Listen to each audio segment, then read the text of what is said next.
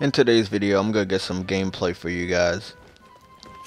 Um after I find out how to play this game again. There we go. So um what I wanted to do is get some 60 frames per second gameplay for you guys. It's only thanks to Rated D that I'm able to do these videos uh, because he taught me how. So um we're gonna get some gameplay out so this is uh, Dragon Quest Heroes. I've uh, put a good amount of gameplay on this YouTube channel, but never in 60 frames per second. This was a 60 frames per second uh, game, and it was only available on the PS4 when it first came out. Then it went to PC, uh, and of course that was the last system it went to. The follow-up in the United States uh, is rumored to be coming to the Vita as well as the PS3 because that's how it is in Japan. It's going to have four-player online co-op. Um, it's good. Once again, it's going to be on the Vita, PS3, and PS4 in Japan. Uh, of course, the PS4 version is rumored to still be in 60 frames per second, but we're going to see how that works with the online co-op. If they continue that or they take it away.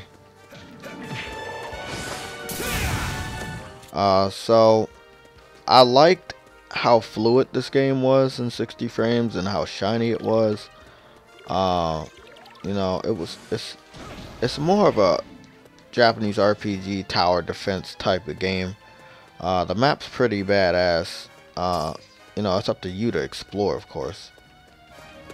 So, I mean, you don't have to stay in one area. There's tons and tons of enemies to fight. Um, I'm actually I'm getting another kind of Dynasty Warriors type game like this uh, on March 15th. Um, so you know, not this week coming up, but the following week uh, which is the same day as the GDC event. Um, also, another cool thing, that game is going to be M-rated, so I'm going to be kind of limited on what uh, gameplay I post on YouTube because of the type of M rating it received and why it received that M rating. But I post uh, like first impressions gameplay of it day one or do a live stream, but um, Hope nobody gets salty about what we get. Uh, once again, that is another 1080p 60 frames per second PS4 exclusive. It has the seal of approval only on PlayStation. Um, I did hear that there was a couple PC petitions for that particular game. Uh, Square Enix took it upon themselves to put this game on PC uh, at a later time than when they released it exclusively for the PS4 in the United States. But uh, it's still an awesome game. Oh, I forgot. Because this game was similar to Dragon Ball, you could do a little charge. I haven't played this game since I platinumed it. Uh, but I did get the digital version. Because it was, it really was badass. It was a badass game.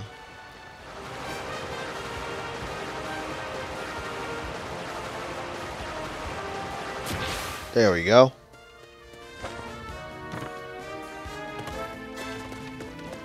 Let me go find a nice... Oh, no, no, no.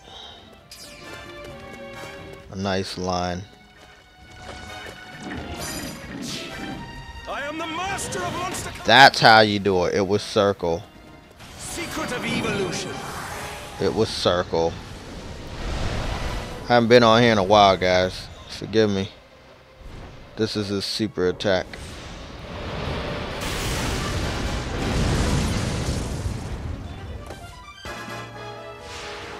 I knocked those guys out.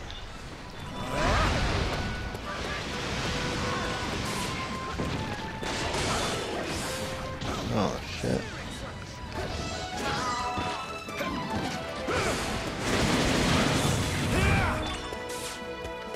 That's a pretty badass game. Trying to figure out how I switch to other people. okay, so I got that character that uh, reminds me of Link. Eh, if you don't know who Link is, he's from like the Legend of Zelda.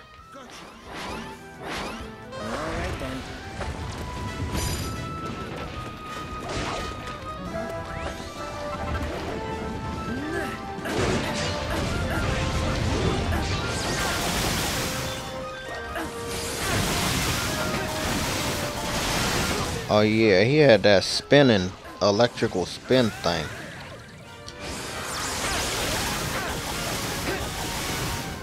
Damn, he do it three times now.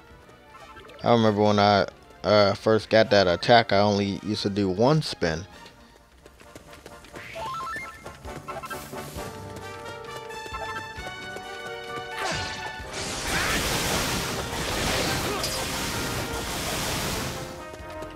It's a good way to move around too.